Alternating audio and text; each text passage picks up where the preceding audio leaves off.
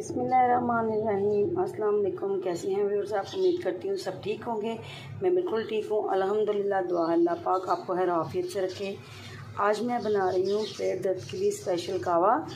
और ये बहुत आसान है। घर में मौजूद, हमारे पास जो घर में मौजूद इंग्रेडिएंट्स होते हैं, हर घर में मौजूद होते हैं, हर किचन में मौजूद होते हैं, हम उससे बनाएँगे इसको। और अक्सर जो है पेट दर्द का मसला उस टाइम होता है जिस टाइम रात का टाइम हो, जिस टाइम सारे मेडिकल स्टोर बंद हो, या डॉक्टर वगैरह सारे सोए हो, तब जो है ना हमारे साथ पेट दर्द का मसला पेश आता है। तो ये कॉमन चीज़ है।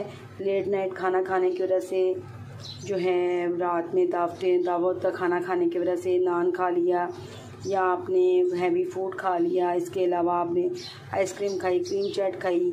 तो इस इसी तरह से हम, हमारा पेट में सारा कुछ एक टाइम में डालने की वजह से हमारा पेट जो है ख़राब हो जाता है। तो आज मैं आपको जो कावा बताऊँगी वो है मोशन पेट दर्द कैब वगैरह अगर किसी को आ रही है और अचानक रात के टाइम या सुबह सुबह में आपको ये मसला पेश आया तो उसके लिए बहुत ज़बरदस्त है, बहुत इजी है। चलें, आपको बताते हैं इसको कैसे बनाना है। ये हमारे पास है पुदीना। पुदीना जो है वो बहुत इसके फ़ायदे आपको तो पता ही कितना अच्छा है। और इसके अलावा हमारे पास है अजवाइन, जो हर घर में मौजूद होती है, किचन में होती है। और इसके अलावा दालचीनी है हमारे पास। तो मेरे पास छोटे छोटे टुकड़े थे, इसलिए मैं दो टुकड़े ले लिए अगर आपके पास बड़े हों तो आप एक भी ले सकते हैं। तो ये जो कावा है, ये उस वक्त काम आता है जब जो है, कुछ समझ नहीं आती और पेट दर्द इतना शदीद होता है कि कुछ समझ नहीं आती कि हम इस वक्त क्या करें। तो ये जो है, आप पुदीना जो है, हर वक्त तो फ्रेश नहीं मिलता। तो आप पुदीने को जो है, आप इसको स्टोर कर सकते हैं। इसको आप धूप में सुखा के, धूप में सुखा के आप इसको, जब ये सख्त हो जाए इसके पत्ते तो आप इसको स्टोर कर लें। तो फिर रात में जब आपको ज़रूरत पड़े तो आप इस पत्तों को निकालें और कावा बना लें। बहुत अच्छा बहुत इजी कावा है। तो मैंने जो है ये एक कप मैंने बनाना है कावा। क्या ये वाले एक कप बनाना है तो मैंने सवा कप जो है पानी ले लिया है। तो कुछ हम पानी इसको पकाएँगे और थोड़ा सा इसका कलर भी निकलेगा, मज़ेदार सा कावा है। चलें आपको बताते हैं इसको कैसे बनाना है। तो एक मैंने पतीली ले लिए इसमें मैंने पानी डाल दिया और ये पुदीना है, ये मैं इसमें डाल दूँगी। और ये जो है अजवाइन, ये डाल दूँगी।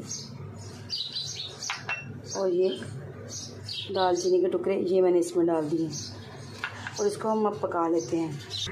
इसको हमने पकने के लिए रख दिया है।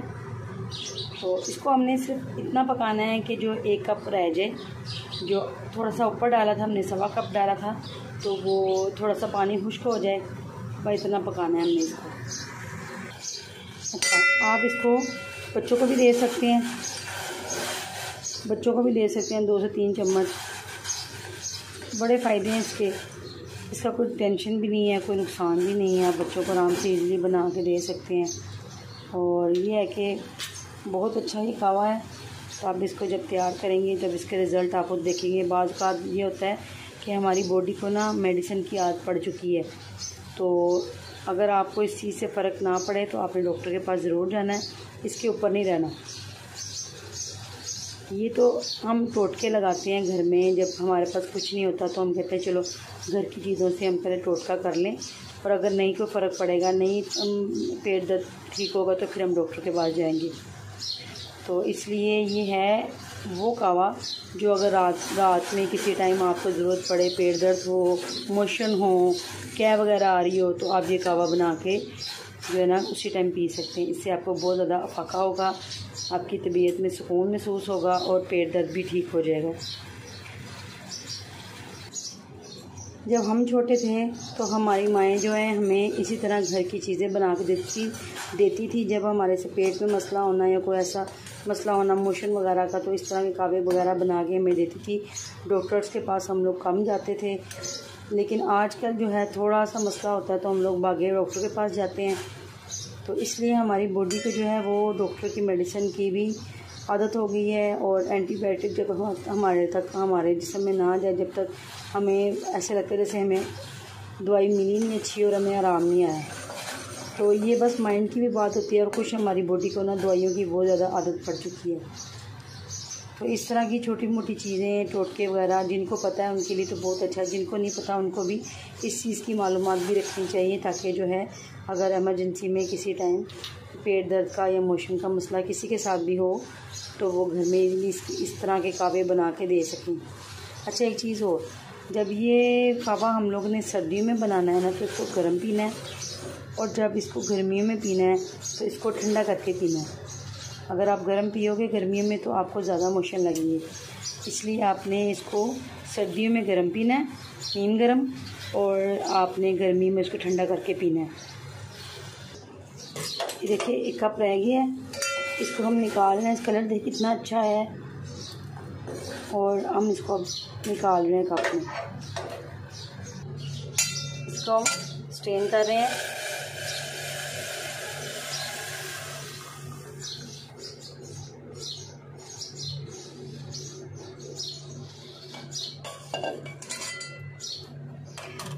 ये देखें कलर चेक करें कितना ज़बरदस्त आया है।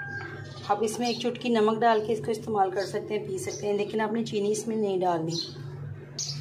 बहुत इजी है, बहुत मज़े का बनता है।